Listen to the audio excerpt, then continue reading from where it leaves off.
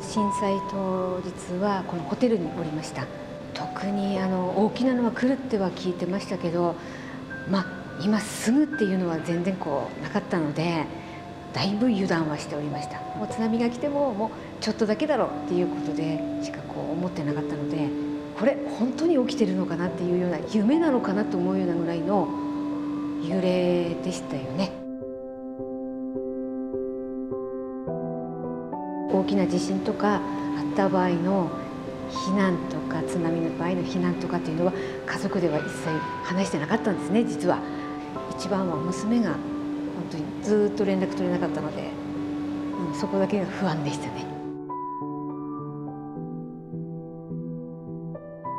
家族とのあの会話ですね。あのこういった場合はこうあのどこに逃げよう連絡は誰々とこう取れるような流れを作っておこうとかっていう話し合い、